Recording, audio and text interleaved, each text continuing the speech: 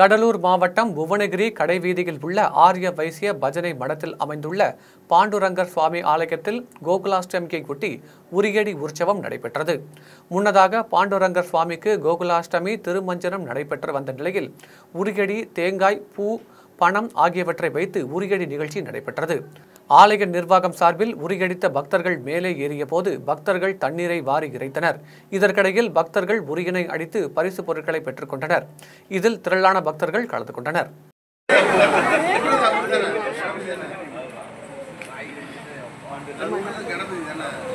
அழைச்சு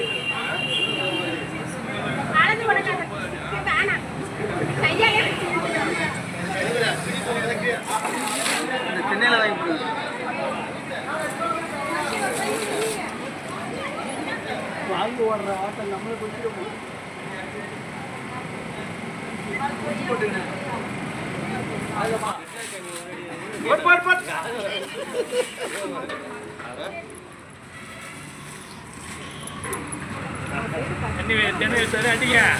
ஸ்லோவா இருக்க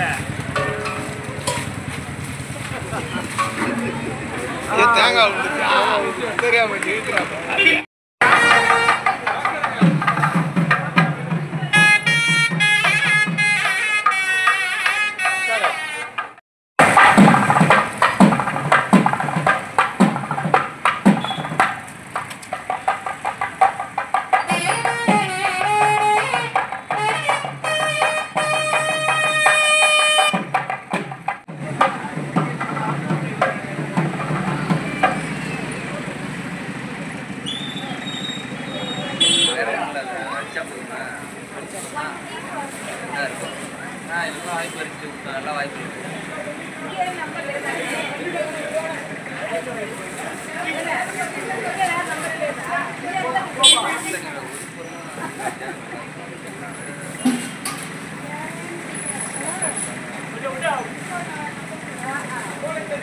Ah.